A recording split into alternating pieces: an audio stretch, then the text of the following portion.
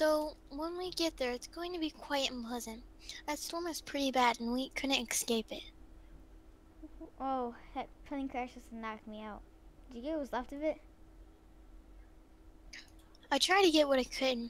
I guess I was more focused on helping you. Oh, maybe we could find some more, like some food or water. And where are the plane's wings? I think that would be best. Watch your step, there's fire everywhere. Oh, the wings? They broke off and sank. Hmm. I'll look for the care package. All right, maybe I can find the food carts. This is too bad to be true. Where are those food carts?